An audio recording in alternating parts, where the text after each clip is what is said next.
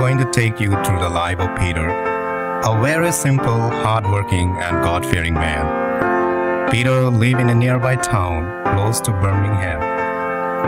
Now let's get a sneak peek into Peter's life. Peter starts his day with prayer. Lord, I thank you for this wonderful day. Jesus, you have given me all the blessings that I need. But there is one thing that is missing, and you know what I am going to ask you. When are you coming to my house? I want to see you, Jesus, and talk to you. He's now busy reading newspaper. Anna, where's my coffee? I'm still waiting. Meet Peter's wife, Anna. She's always concerned about Peter and her two kids. Here comes your coffee, Peter. Enjoy it. Thank you, dear. Good morning, Rebecca and Joel. Wake up and get ready to school.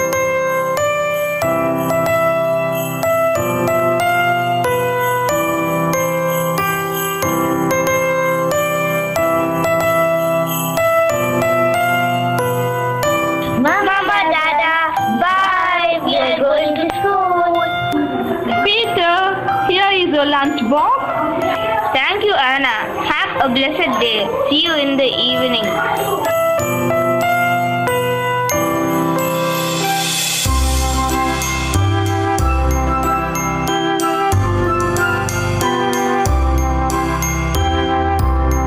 Was during the time of Christmas as usual. During his prayer time, he said, Jesus, please come to my house. I want to see you. Immediately, he heard a voice calling, Peter, Peter, I'm coming to your house for Christmas. Thank you, Lord. Peter was very happy and jumped with joy. Immediately, he called his wife and children. Jesus is coming to our home to meet us. Isn't that exciting? I'm so happy. We have three more days for Christmas and we need to make all the arrangements before that. Let's decorate our house to its best. Dada, Dada, I will take in charge to decorate the house. That's awesome, Joel. Let's make some delicious food for Jesus. John, you are in charge to ensure we have the best food for our Lord. Yes, sir, I will make turkey biryani, chicken roast, plum cake, and all that you need. Dada, we need to be dressed in our fine clothes. I'm going shopping for all of us. Peter, let's call your sister Margaret and her family home for Christmas. She will be thrilled with the good news and will get to meet Jesus in person. I agree with you, Rebecca. We need to be dressed the best and Anna, that is perfect surprise for Margaret to, for Christmas. Let's do it.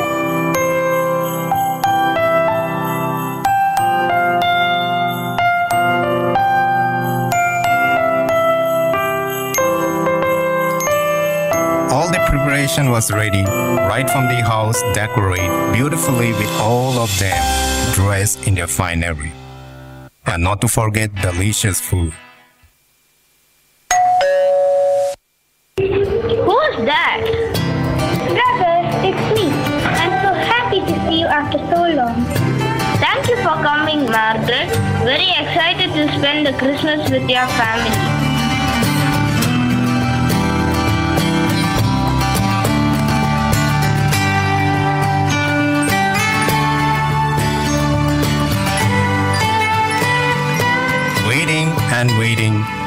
Was evening. Peter and his family is seen waiting and suddenly doorbell rings. Hip hip hooray! That is Jesus at the door. I'm going to open the door. As Joel opened the door, he see a poor man standing at the door shivering with cold.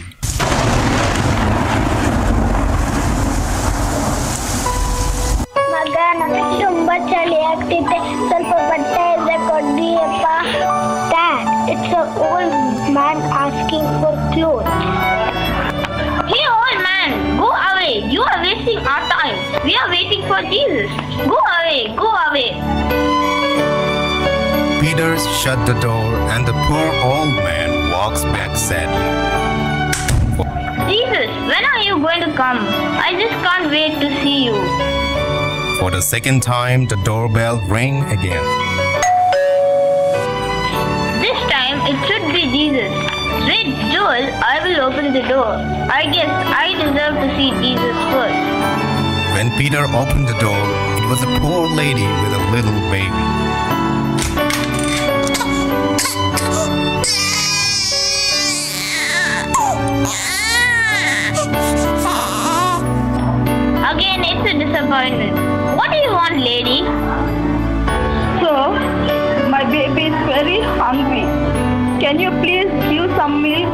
So that I can feed her?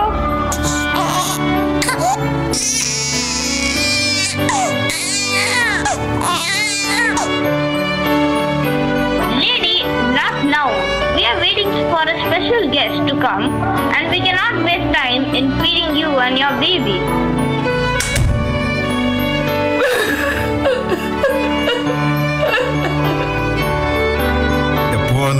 Walks away crying, and Peter walks inside. Peter, when will Jesus come? It's already late now. I guess he will not come.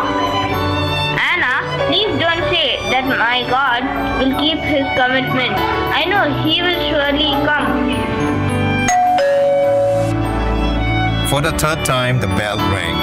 Peter jumps out of his chair and runs to the door. As he opens the door, Who are you? Sir, I have been traveling to Bangalore and it came dark at night. I'm not able to find a place to stay nearby. Can you please let me stay at your house for a night? Is that my problem? If it gets dark, if it's late, is no nearby place to stay. Please go away. Peter shut the door and walked back sad. Jesus, why didn't you come? Dada, why did Jesus not come? Suddenly, Jesus called, Peter, Peter. My Lord, we were waiting for you. Where are you?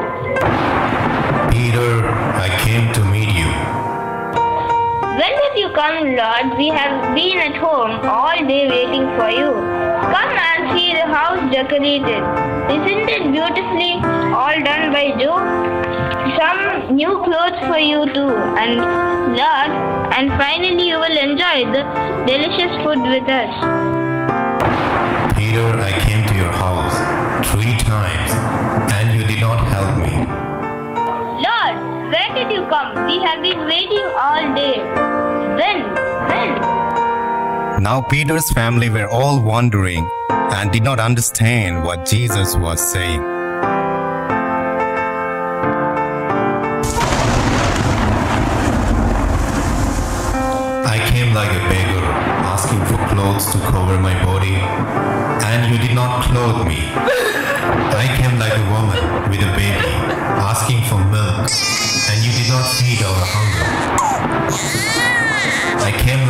Stranger, asking for a place to rest for the night, and you did not provide shelter.